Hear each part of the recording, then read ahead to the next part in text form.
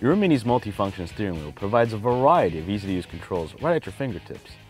On the left side are audio controls and Bluetooth and voice dialing if your vehicle is so equipped, while the right side has cruise control buttons. The audio controls are fairly simple. The arrows on the circular dial work the same as the arrows on the audio system, while the plus and minus signs control the volume of the audio system.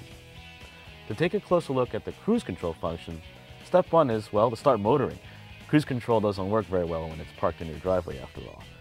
Now once you're moving, you can turn the cruise control feature on easily by pressing the on-off button once, and you will notice that a green light will illuminate in the speedometer, notifying you that cruise control is on.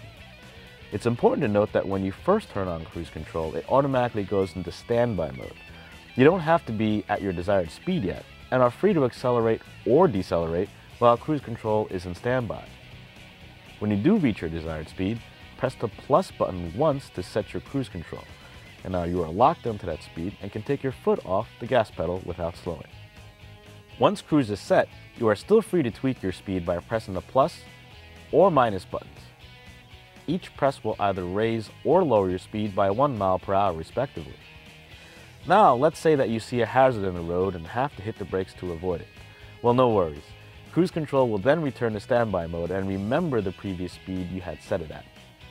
To resume this last set speed, accelerate again and press the resume button, which looks like a speedometer with an arrow pointing to it. Your Mini will then automatically resume the last set speed.